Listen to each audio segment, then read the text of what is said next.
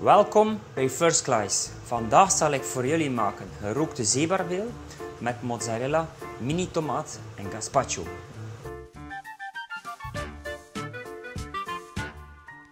De ingrediënten. Wat hebben we nodig?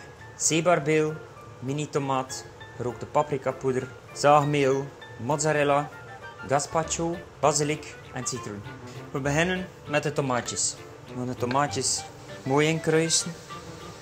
We gaan de tomaatjes heel kort koken, 10 seconden in kokend water. Dan gaan we ze afsterken in ijswater.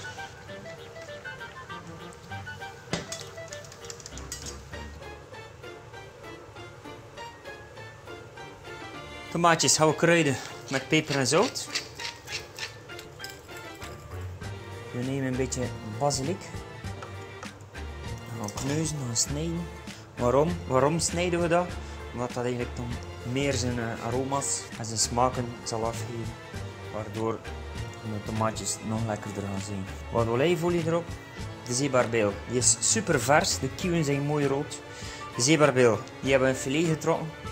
Hoe dat je dat doet, dat hebben we al eens getoond in een vorige uitzending. Dat kunt u terugvinden op firstclass.tv.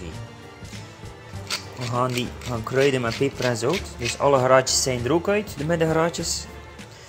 We gaan de velkant lichtjes insmeren met olie, met olijfolie. We nemen de rookpot, eetlepel zaagmeel, onderaan de bodem doen, deksel mag erop. Dan het roostertje. Mooi de zeebarbeelfilet erop leggen.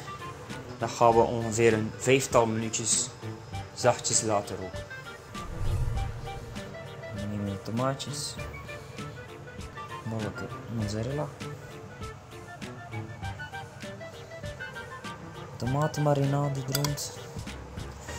Hier hebben we de gazpacho. Dus de gazpacho. Die hebben we al eens gemaakt in een vorige uitzending. Die kunt u ook terugvinden op de website firstclass.tv. Dus we gaan een mooie bodem gazpacho doen.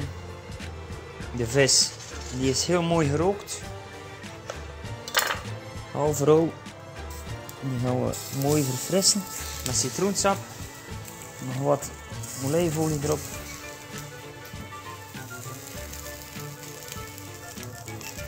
Gerookte zeebarbeel, gazpacho, mozzarella, mini tomaat. Een visje van bij ons. Smakelijk en geniet ervan.